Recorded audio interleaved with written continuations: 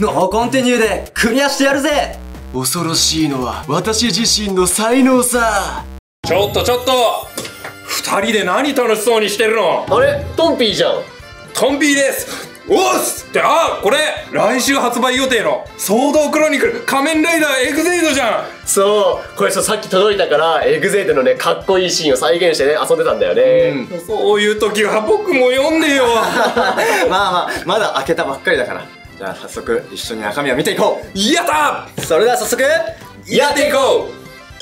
バンマニ今回のラインナップはこちら。仮面ライダーエグゼイドアクションゲーマーレベル2仮面ライダーブレイブクエストゲーマーレベル2仮面ライダースナイプシューティングゲーマーレベル2仮面ライダーレーザーバイクゲーマーレベル2仮面ライダーゲンムアクションゲーマーレベル2仮面ライダーエグゼイドに登場したメインのライダー5人の基本形態が収録されています。めちゃくちゃかっこいいようん。ねしかもさこの5人がいればさ劇中のさ印象的なシーンほとんど再現できちゃうんじゃない、うんうん。でも確かさエグゼイドって昔騒動で出てたよね。そうなんです。実は騒動シリーズのスタートは2016年のエグゼイドの時だったんですよね。今回初代騒動リメイクとしてエグゼイドがついに騒動クロニクルで登場しました。当時の騒動シリーズよりも今回の騒動クロニクルではいろんなところが改良されていてさらにレベルアップしているんですしかもさこうパッケージもさなんか当時のものと雰囲気似てるというかポージングとかもねこんな感じだったし、まあ、しかもこの色味とかねデザインとかね。デザインがねめっちゃ似ててなんかその感じもいいですね。じゃあ早速ねさらにレベルアップした騒動クロニクル見ていきましょう。ということで今回一番パワーアップしたポイントはキャラクターの造形なんです。見てください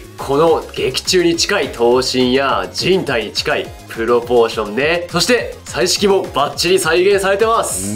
確かに造形面も付属パーツもいろいろパワーアップしてて遊びの幅がめちゃくちゃ広がるね、早くいっぱい遊んでみたい、ね。さらにもちろんプロポーションだけじゃなくて可動域もめちゃくちゃ増えてるんですよ。はいまず腕ね。はいガシガシしっかり。ああいいですね、はい動きますし。はい顔もしっかりねおおいいですね。角度も結構いろんなところで決めれますよ、こ襟があるから動かないかなって思ったら結構ちゃんと動くんね。ね。はいもちろんこの腰もねしっかり動きますし。はい下半身までね。めちゃくちゃ可動域広いよね。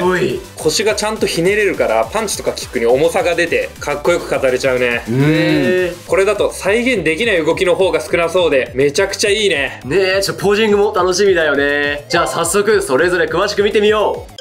バンマにまずはこちら仮面ライダーエグゼイドアクションゲーマーレベル2いやーやっぱ主役はめちゃくちゃかっこいいね、全身のピンク色や黄緑色の鮮やかさとか、プロポーションの良さっていうのはもちろんなんだけどここちょっと注目してほしくって、はいはい。ゴーグルと胸のパーツの部分、はいはいはい。ここなんとクリアパーツになってるんです。おお本当だ。えしかもこのサイズのクリアパーツ使ってるなんてめちゃくちゃ豪華に作り込まれてるね。このクリアパーツ越しにねこの目だったりこの胸元のデザインも見えるっていうのが。いやめちゃくちゃいいよいいねですね。胸の中のライダーゲージもしっかりとデザインされてるんで、あー。結構細かいところまで作り込まれてるね。ね。うん。再現度高いです。さらに今回はガシャコンブレーカーハンマーモードガシャコンブレーカーブレードモードやノーコンティニューでクリアしてやるぜの手やガシャットを持っている手などこれ一つでいろんなポーズを再現して遊び尽くせるだけの付属品がついているんです。次はこちら。俺に切れないものはない仮面ライダーブレイブクエストゲーマーレベル2です。いやーこれもめちゃくちゃ造形の完成度高いね。えエグゼイドと同じでクリアパーツもすごいんだけど、うんうん。頭のシルバー塗装のところとかもめちゃくちゃ綺麗に決まってていかにも騎士って感じですごくいいね。ねえこのシルバー塗装かっこいいよね。そしてねブレイブといえばやっぱこの青色のボディ。このボディもね爽やかな青色でめちゃめちゃかっこいいですね。そして付属するガシャコンソード。今ねこう表剣モードになってるんだけど裏返してみると円剣モードになっててリバーシブル仕様になってます。この仕様も嬉しいですね。どっちでも遊べるってことだね。ね最高だね。続いて仮面ライダースナイプシューティングゲーマーレベル2いや色味いいね、こう全身の紺色とか、まあ、あとあの黄色の部分。とかもめちゃめちゃ劇中に近いしいやいい発色ですね。注目してほしいのはこの顔の部分なんです。めちゃくちゃ細かい造形までしっかり作り込まれています。例えばこのスコープみたいなデザインだったりとかこの前髪っぽく垂れ下がっている黄色いところのデザインだったりとかすごい立体的に作られていて